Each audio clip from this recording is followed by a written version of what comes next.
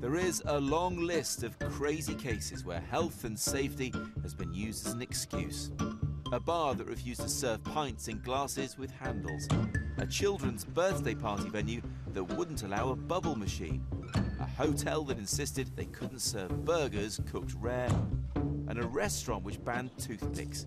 Yep, you've guessed it, for health and safety reasons. It has gone a bit mad because it's about common sense, I think. It should be about common sense anyway. Banning bubbles at children's parties was just ridiculous. It's just going over the top. There's a certain amount of common sense that can be used. It's probably a sign of the um, suing culture that we're now in, that everyone has to try and cover their own backs. It's incredibly sad, really, isn't it, to think that we've got to this stage, I think. I can't really see the danger in a toothpick myself, so I, I, I don't know. I've never hurt myself with a toothpick.